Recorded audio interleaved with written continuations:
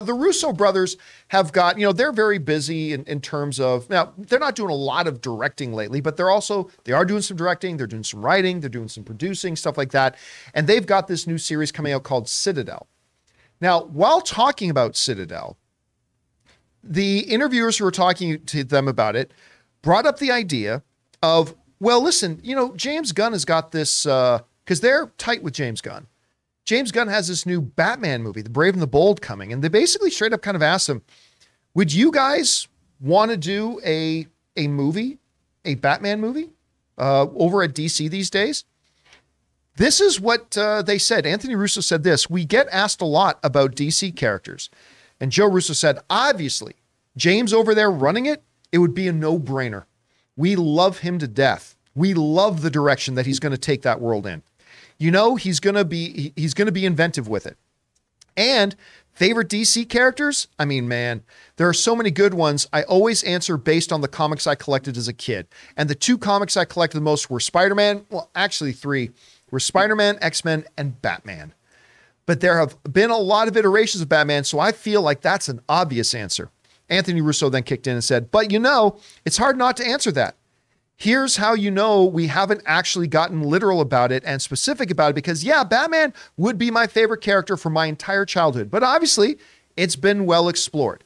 And this is all, of course, coming from uh, reports coming out about them saying that they would love to direct a DC Batman movie and all this kind of stuff. All right.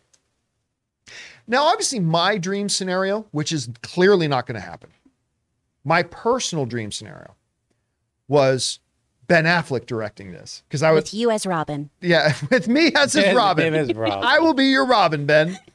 I'll put on them damn tights. Nobody else may like it, but I'll do it. Chafing be damned. Um, I, I mean that was obviously my my big dream, uh, and that's clearly not going to happen.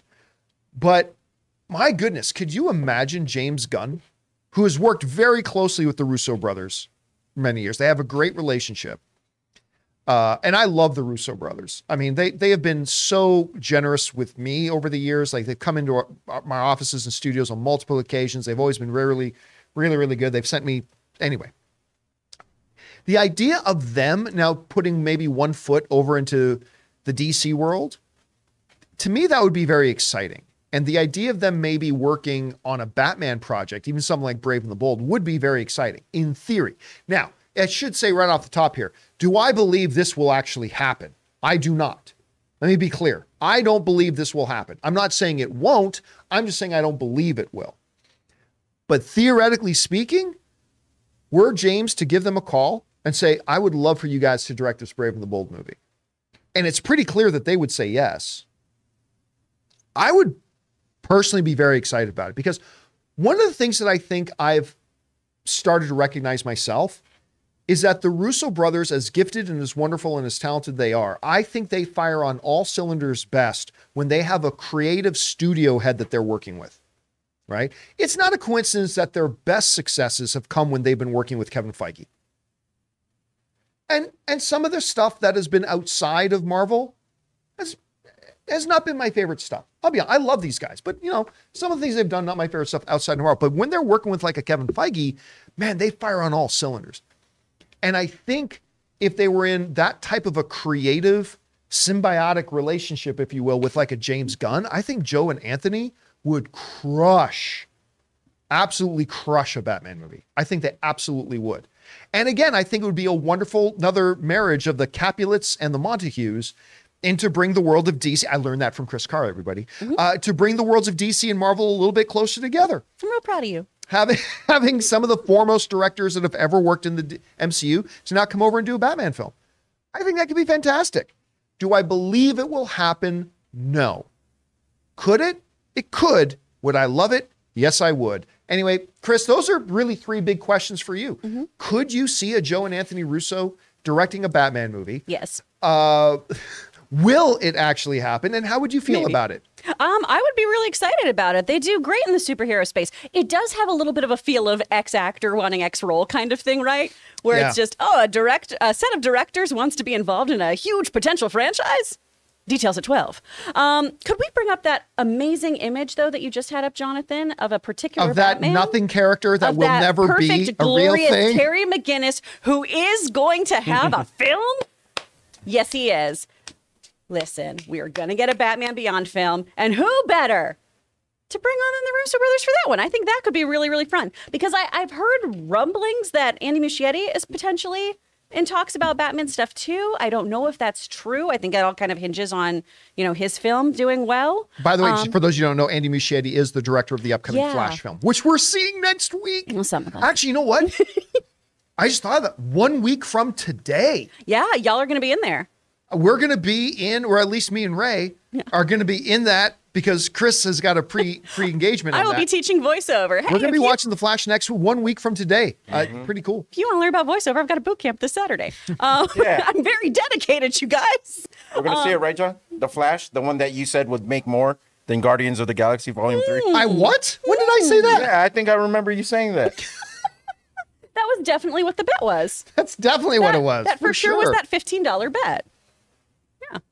But I think they. I think this could go really great for them. They have a great relationship with James. I mean, why not? Why wouldn't they do it? I think we could see that in the future. But again, so much of the stuff that we're talking about is more of that definitely maybe kind of camp. Right. Right. Yeah, people sound really, really interested in it, but it's going to come down to schedules working, everyone having the same kind of creative vision, yada, yada, yada. So hopefully we'll see it, but if we don't, I'm sure they'll find somebody else to fill the shoes. the, the thing that throws a little bit of a wrench in this too is that there has been some i mean public statements made that the russo brothers would also be interested in going back to the mcu at some point uh, kevin and the russos have a great relationship as well I, I don't know if kevin would think it would be a great you know what yeah let's get the russos working on dc movies I and love that. or Mommy whether and Daddy kevin can have shared custody.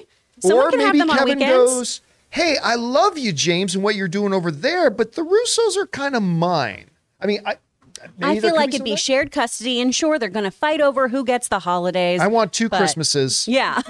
All right, guys. No one question wants for you. Thanksgiving. what do you think about this and the comments being made by the Russo brothers? Could you theoretically see them going over and directing a Batman movie or anything for James Gunn over at DC? Uh, listen, would you like it? Maybe you wouldn't. Whatever you think the possibilities or lack thereof are, jump on down to the comment section below and let us know your thoughts.